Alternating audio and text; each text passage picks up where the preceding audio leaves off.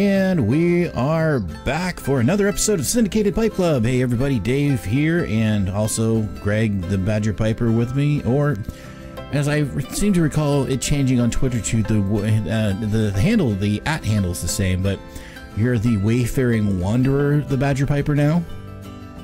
Uh, yes, yeah, I, I decided to I change it up a bit, and uh, that was a. I was thinking about doing a kind of like a writing blog, and that was the name I was going to use. But uh, I think my uh, I'm just kind of full of projects at the moment, so it's just going to have to be put on the side right now. Yeah, that happens. When you have have have extra time on your hands, you tend to come up with things to do. Yep. Uh, and throw a throw children into the mix, and uh, there's even less. And then you start staying up later, doing things, and all the good stuff.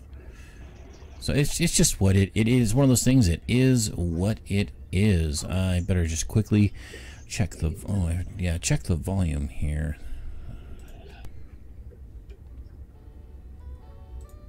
Oh, that's pretty low this week. Last week it was a little high at the beginning. Now it's a little soft. There we go.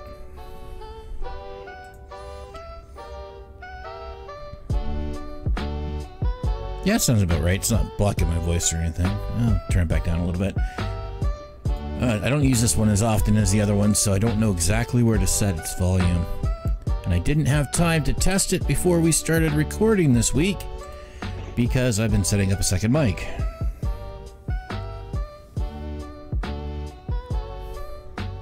Uh, what happens? It's all good. And plus, I've noticed, and I'm sure I've said this before on the show and to you before we go on air. I've noticed that this thing decides to. It sounds louder to me than it actually comes out in the end. I don't know why exactly that is, but it does. Yeah. Well, uh, did you want to throw some music on? I did. No, I guess I don't hear it. Well, that's unusual. I hope it comes through the uh, the recording then, because you usually can hear it. Yeah. The audio's just a little bit different tonight. I'm guessing it's just from the, the second mic or uh, the kind of the, the change. Um, but, Second mic's uh, not running through my regular recording thing, so that really doesn't have anything to do with it. Gotcha. Because if it was Okay. run, I could run it through through my through my board. Um, I've set it up to run USB, but if I had it set up to run through my board, we wouldn't be able to hear you. Right. Which would make uh, having a two person podcast be uh, very difficult. I'm I'm pretty sure you're not moving to Canada, and I'm certainly not moving to Illinois, just so we could be in the same room. Well, I would advise you not to move to Illinois either. So, And vice versa.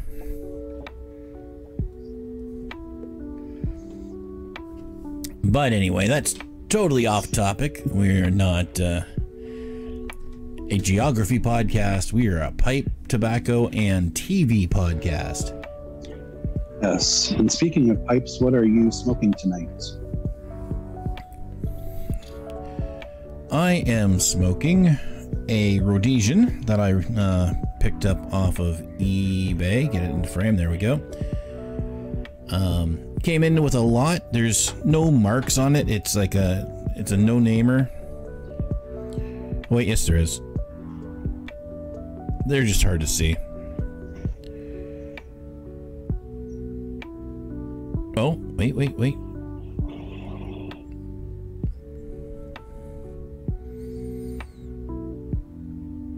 This is a yellow bowl.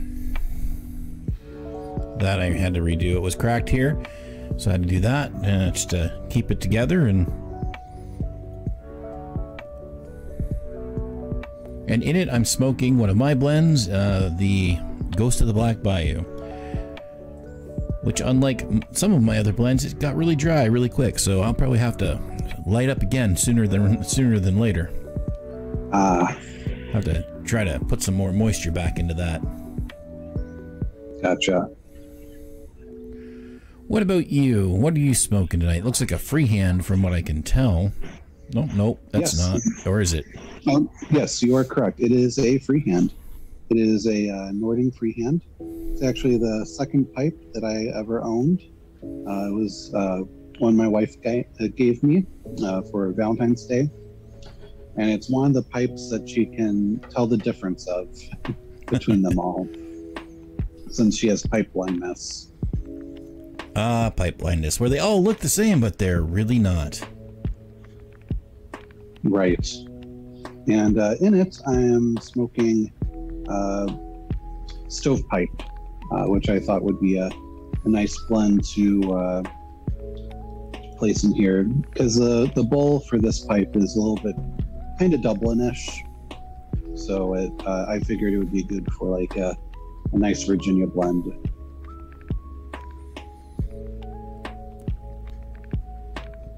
Good stuff. Yeah. And actually, uh, also this weekend, uh, it was my birthday weekend.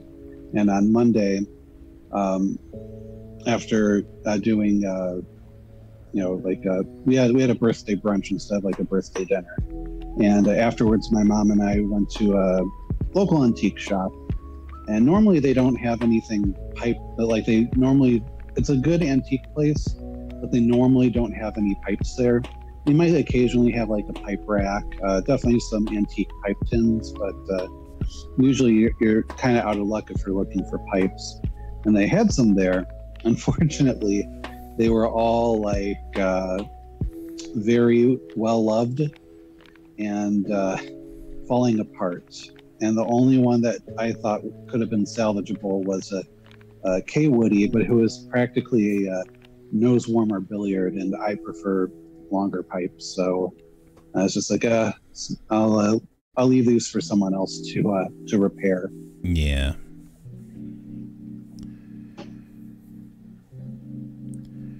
Yeah, it's been a while since I've gone out and antiquing, but I've got a bench full of pipes over in my little work area that I have to clean and restore. I've got about half a dozen to a dozen that need some love. I just haven't had had a chance, and we're in the middle of setting up for, believe it or not, homeschooling pretty soon. That's an interesting story for another time. Yes. So the basement's being rearranged again for the third time this year. So it's a good thing I've got this set behind me because it's disaster behind it. I can imagine. It's uh, I just re- rearranging stuff once is uh, an ordeal. is an ordeal enough for me.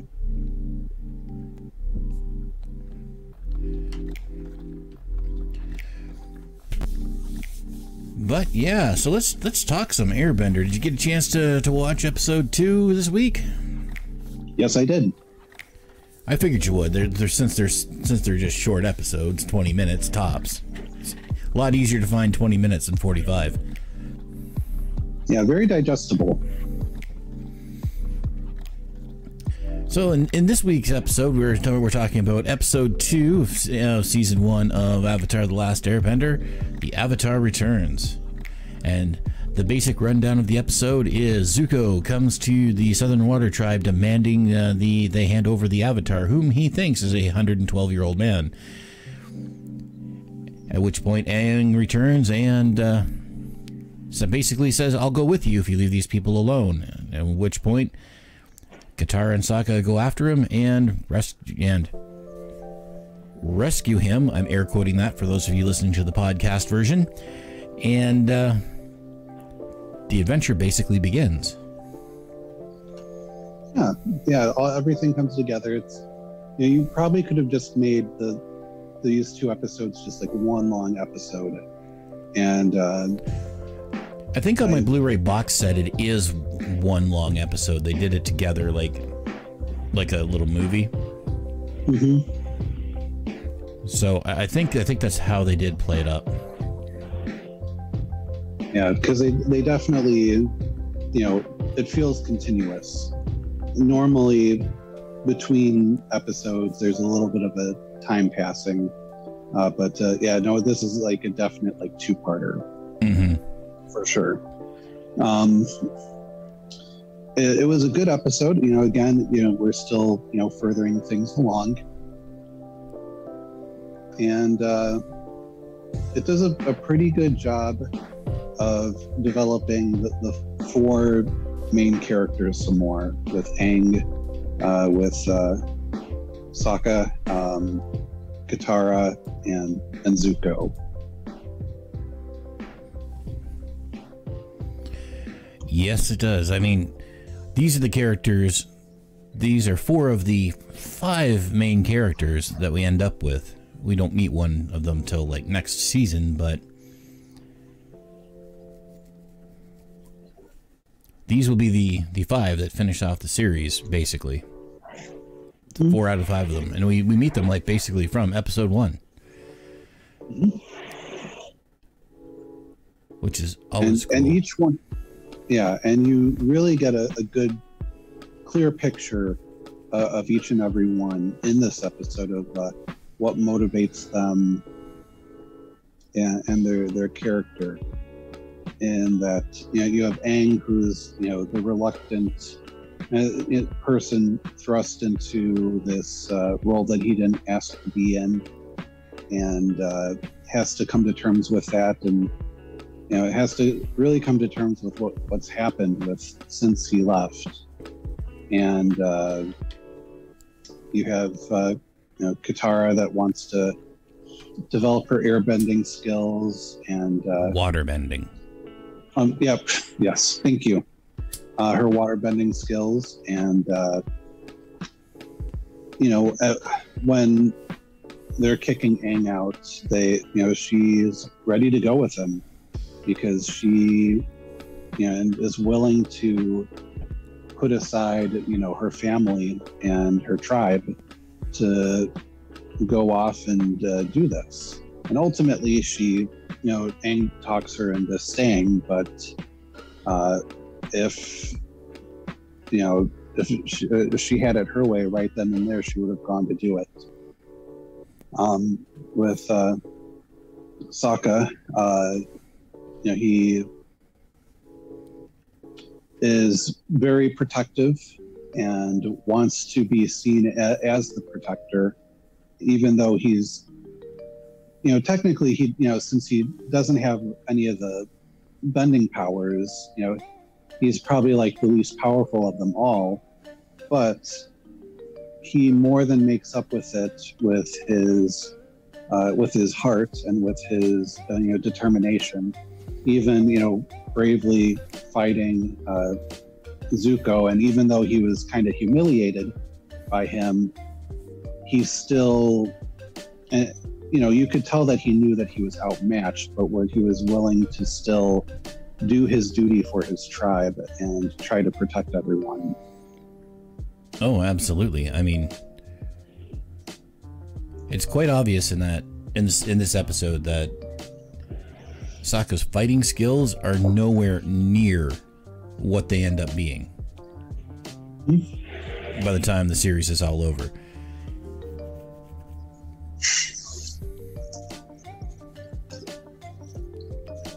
But uh, that's just part of it. That's just part of his development, and and he's great as a as a comic relief character.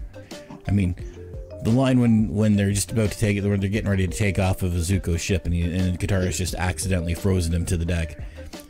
I didn't sign up for this. All this magic and what? I'm just a simple guy with a boomerang. It's not what I signed up yeah. for. Yeah, and that's a, basically his character kind of wrapped up in, in a nice little catchphrase. Uh, but ultimately, he he grows into the role and into the, uh, you know, his what the events that are around him, and more than uh, you know, stands on his own. But we still have a ways to get there. At least, Oh yeah. you know, in the in the end, you know, well, we'll we'll get there. Um, Zuko didn't get as much characterization in this episode. He's more just kind of sta playing the villain, but uh, you know, at least you get to see, and he's definitely determined to, to get the avatar, and but at the same time, he is honorable in the sense that uh, when Aang offered himself up and said, uh, "If I, you know, go with you, will you leave the village alone?" and he upheld his uh, word. Yep, for sure. That's one thing that is always throughout the throughout the entirety of the the series. A big thing with Zuko is his honor.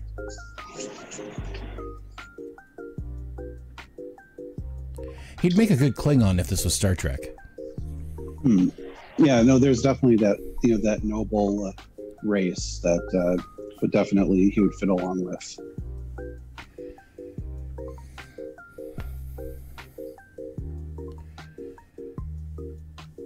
And uh, another thing too that um, you know, one of the things that I really noticed about this episode is just really the art style. Like, it's you know definitely cartoony. You know, it's going kind of for I wouldn't say anime, but you you can definitely tell that it's a little bit inspired by anime. But yet at the same time, there's these little moments where it's a bit cartoony, like Mhm, where Aang mhm. kind of like peeking around the corner and his lips kind of stretch. Um, and in some of the, like when Zuko is fighting uh, uh, Sokka and gets bonked on the head, and you there's the cartoon kind of like boink sound effect. Uh, so it's very much, you know, embracing its cartoony, uh, you know, style. And yet it's but it's not afraid to tell a serious story. So i think that's really a, uh, a neat approach to, to go with the show Yeah, I watched uh, this episode uh, this afternoon, recording time, like when, when uh, my oldest was in school and had. Uh, it's, yeah, my, my wife was running some errands, so I had the two youngest boys with me. And uh, the part you just mentioned is that that boinky sound happened twice. It happened when Zuko did the same thing with the Sokka's spear to him, and then when you mentioned it just there, that that little sound effect was also there for when Zuko or Sokka did it re- in return to Zuko with Aang's staff. And both times, my my middle boy just burst out laughing. He just thought it was hilarious. And uh, so it's one of those things. I, one of the things I like about this show is I can watch this show with with my kids that are all like under the age of eight, and I don't have to worry about you know being too too graphic in that regard. Right. Because it does embrace that the fact that it is a cartoon. hmm and yet it also tells them a very excellent adventure story. Hmm It, there's something in Avatar for all ages. I mean, it's a very well-rounded show, and uh, if the the announcements I've been seeing on the internet are, are any indication, there's a talk of more animated fare coming down the line. Hmm. Um, there, I think, it, un, un, unfortunately, it's with a new. It, it'll all be uh, exclusive to to Paramount Plus, apparently. But uh, to, what- to what service Paramount Plus, the, the Paramount's doing their own now. hmm but i think they swallowed up like uh, cbs all access Yeah, they did. They they solo swallowed up uh, CBS All Access, but CBS has for years now been a uh, affiliate bought out by Paramount. But uh, Yeah, it, it's a shame, you know, uh, with all these all these streaming companies It- it- and everything. It, it's starting to get as bad as the cable packages are slash used to be. Where if you, if you want this, you have to have this channel, and if you want to watch this, you have to have this channel. I have currently three streaming services, and I was determined to only have one. Yeah, I mean, they just combined. Uh, I used to get the WWE Network, and now it's being uh, combined with uh, Peacock, uh, NBC's uh, streaming service, and uh, you know, it's actually a little bit of a better deal. But but still, it's like I, I don't think I, I want to do it just so that I can watch, you know, The Office. You know, um, yeah. But, it's just it's just all annoying. And i think you know i with all this like i think there was like quibi that was like launched last year and it like flopped in like a month or two. Uh never heard of that one. So uh, if it if it did obviously. I mean i wasn't surprised when it happened. But yeah no the the whole streaming thing eventually you know the bottom's going to fall out and uh, it's just a matter of like what do you want to uh, what do you really want to watch? What are your priorities? And uh, like at this point i'm just i would be fine with getting rid of uh, i'd be fine with getting rid of uh, hulu right now but uh, and even even netflix. Once we're done with cobra kai but uh, you know it, i'm i'm just not as dependent on it. So in, in some ways it's not a bad deal because really you could just get like one service if that's the one you want and live off of it but it's just yeah it's just ridiculous.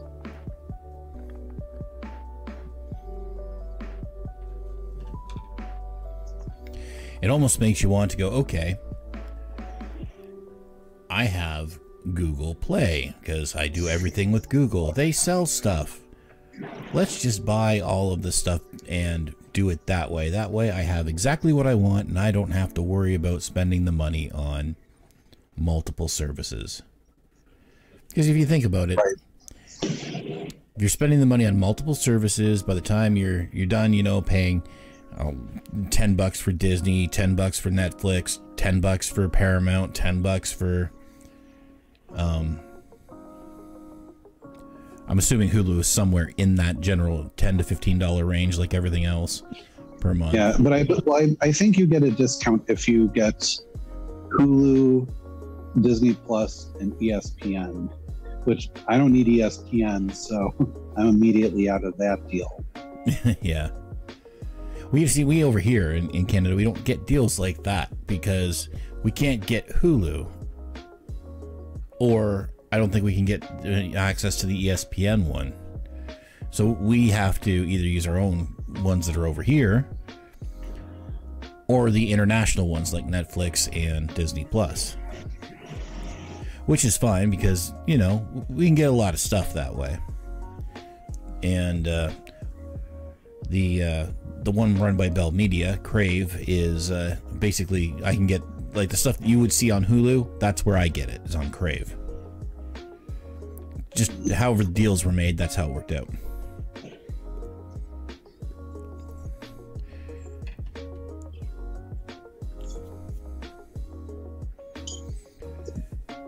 But uh, yeah, it's it's just a mess of a nightmare trying to navigate all these things. And then there's of course the free ones that have some oddball stuff on them that you might want to watch sometime. But those ones are okay to have sitting there because you're not paying for them.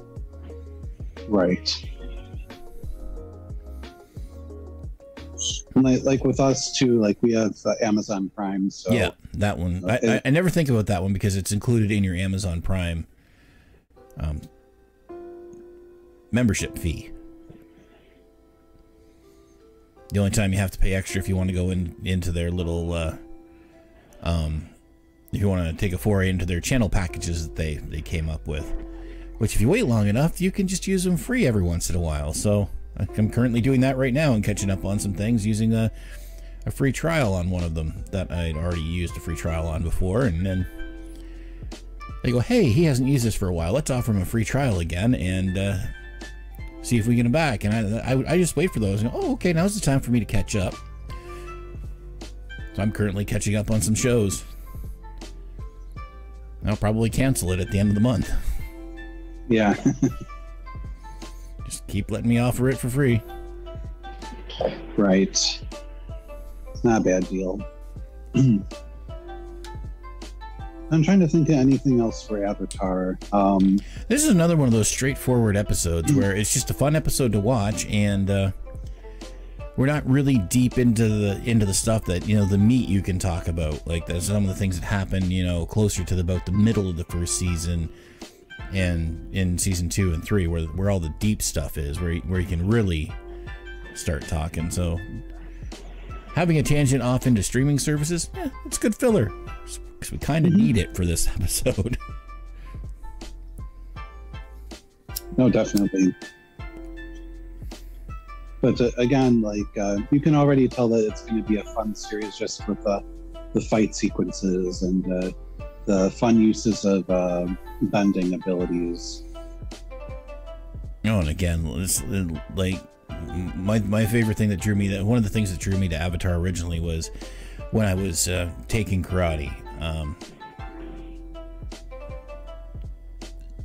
each bending style has its own martial art that's attached to it.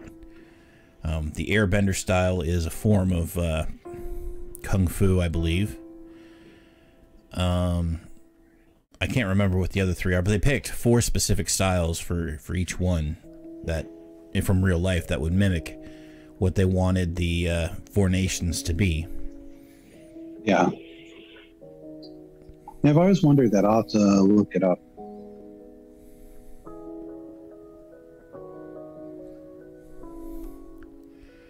Because the style I was learning was very, very close to the to uh, the uh, the earthbending style, like the deep stances and whatnot that they they use for the earthbending is something that I was learning to use. So. I can actually I can actually do some of those moves in real life because I was taught them properly. Mm -hmm. Of course, I can't throw the earth, but I can pull off the moves a little bit. Been a while. I'm kind of rusty. But it's, yeah. it's, it's, one of those things, once you learn it, you don't forget it. Mm -hmm. Right.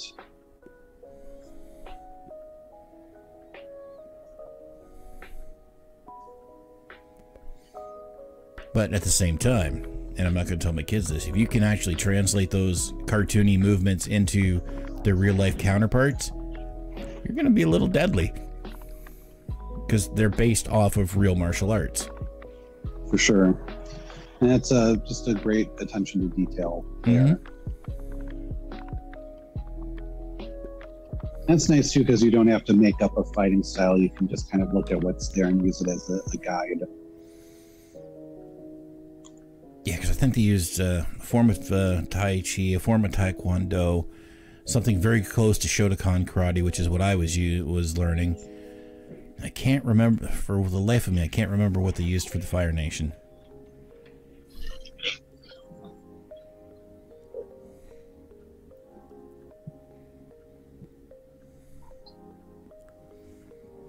But there's so many different styles out there. Like they could have made 15 nations and been able to pick a martial art for each one. Absolutely. That's just fascinating.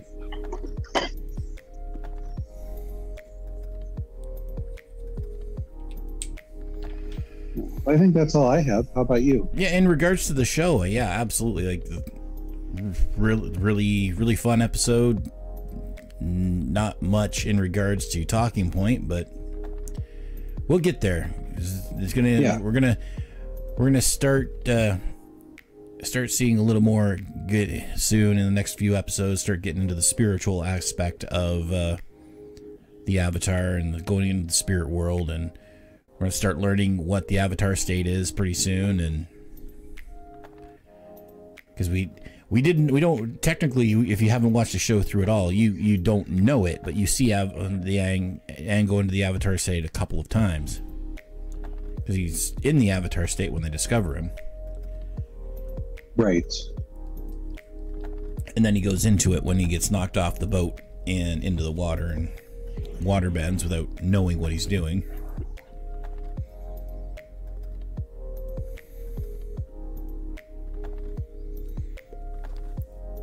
But yeah, there's all kinds of stuff that you can you can talk about once that stuff gets starts starts getting in full force.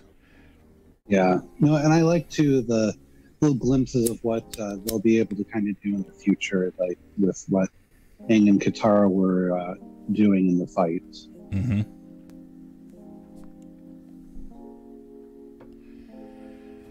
But yeah, I think it's a pretty good place to call it. I've got nothing else. It's a nice light episode, short one, and hope you guys enjoy it. Yeah, absolutely. Huh. So, if you want to follow us throughout the week, you can always find me on Twitter at Dr. Alien 201. And uh, the show is out there at Syndicated Pipe on Twitter. No more Instagram because it just ticked me off. Um, Greg, where can they find you?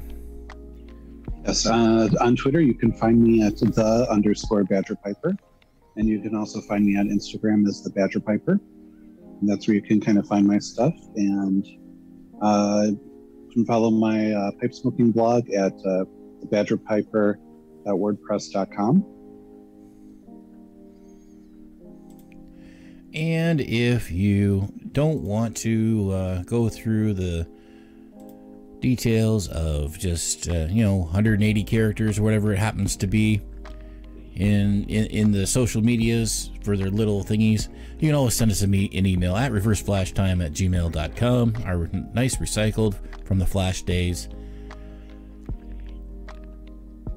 Ooh, speaking of the flash days,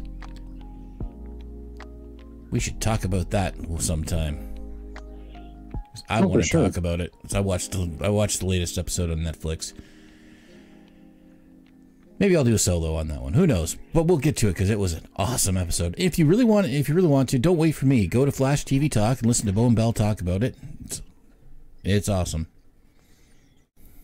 I've heard a, uh, I know um, Superman, uh, the Superman show started as well, and uh, it's supposed to be pretty good. Yeah, I'm gonna have to see if I can find out where I can watch that. I'm not surprised though, because the actor that plays Superman is very likable. But anyway, all that aside, everybody, hope you have good smokes, great entertainment, and we will talk to you next week. Chat with you later.